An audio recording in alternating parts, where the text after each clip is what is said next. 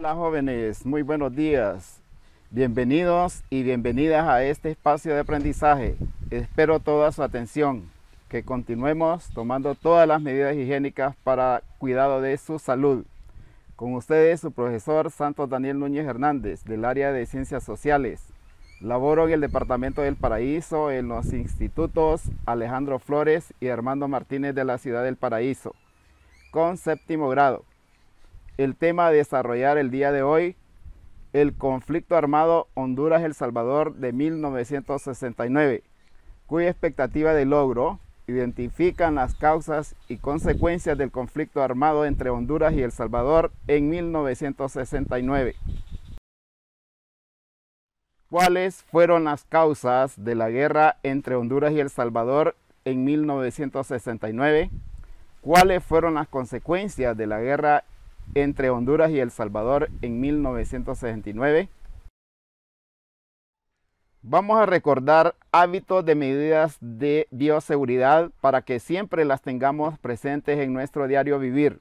Lavarse las manos con agua y jabón.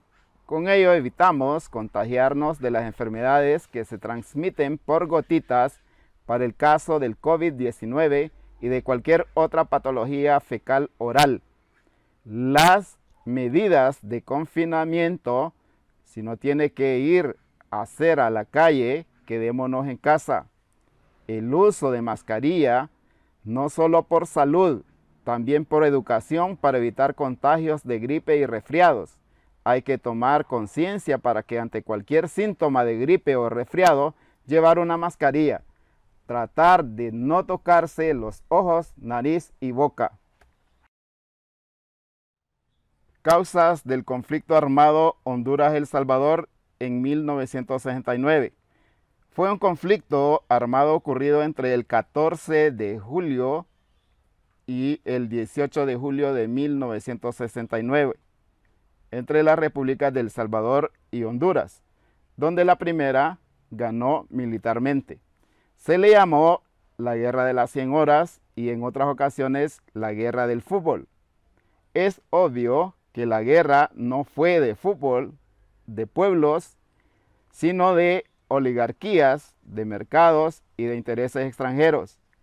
Algunas de las causas del conflicto fueron el desarrollo desigual de los países miembros del mercado común y por lo tanto desarrollo relativo de unos, el caso de El Salvador, Guatemala y Costa Rica, y atraso en otros, el caso de Honduras y Nicaragua intento de la oligarquía salvadoreña por tener una expansión industrial y comercial a costa del mercado hondureño. El ascenso en Honduras de los sectores medios con aspiraciones de poder y la presión de los campesinos en uno y en otro país por la adquisición de tierras. Consecuencias de la guerra.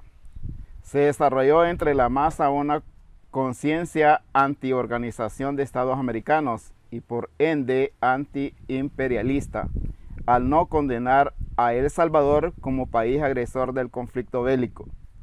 La guerra desnudó la verdadera condición del ejército hondureño como instrumento de la dominación imperialista sobre Honduras, su carácter represivo antiguerrillero, preparado tan solo para aplastar la lucha del pueblo por su liberación el Estado Mayor de las Fuerzas Armadas fue incapaz de organizar la defensa del territorio nacional y el ejército igualmente fue incapaz de detener por sí solo el avance de las tropas salvadoreñas.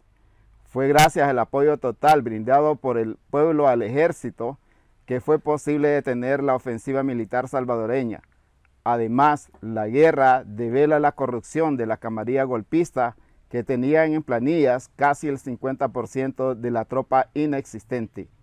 La oficialidad militar o intermedia entre cambio de mentalidad con respecto a sus superiores, los cuales demostraron que no tenían capacidad para la defensa de la patria. La agudización de la crisis económica.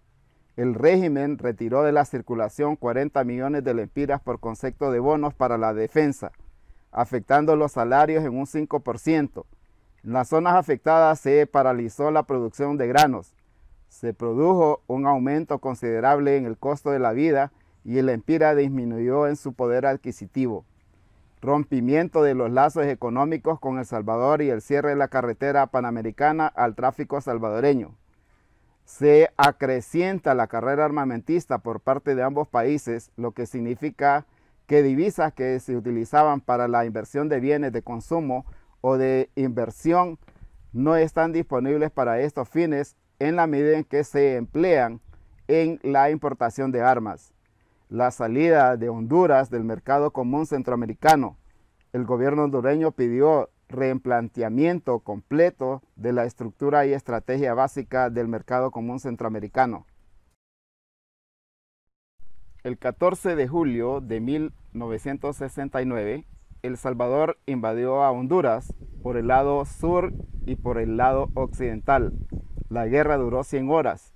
Las primeras 48 horas, el ejército salvadoreño aprovechó el escaso armamento del cual disponía de las Fuerzas Armadas hondureñas, por lo que atacó de sorpresa, penetrando cerca de 10 kilómetros dentro de nuestro territorio.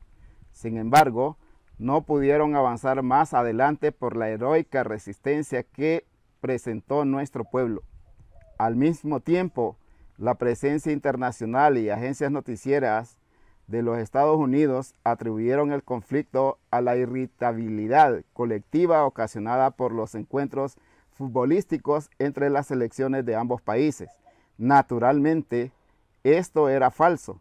En realidad, la guerra entre Honduras y El Salvador fue producto de varias causas, entre ellas las contradicciones de ambos países dentro del mercado común centroamericano, la emigración de la población salvadoreña al territorio hondureño, la existencia de una frontera indefinida. Por todas estas causas, El Salvador creyó posible lograr tales objetivos por medio de las armas. El mercado común centroamericano fue creado con el propósito de beneficiar a los cinco países del Istmo con fines económicos y políticos. Con los años, las relaciones no marcharon bien, por lo que el Istmo centroamericano se dividió en dos partes.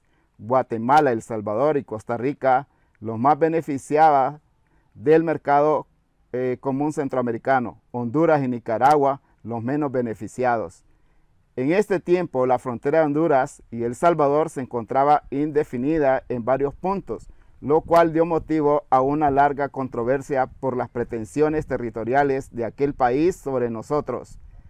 En conclusión, esto fue utilizado como pretexto para crear mayor rivalidad entre la gente y así dar inicio a la guerra. Desarrolla tu capacidad. Con la ayuda de sus padres, comenta por qué se conmemora el Día de la Hondureñidad. Jóvenes, ha sido un placer el haber compartido este espacio de aprendizaje. Continuemos estudiando en casa. Hasta luego. Muchas gracias.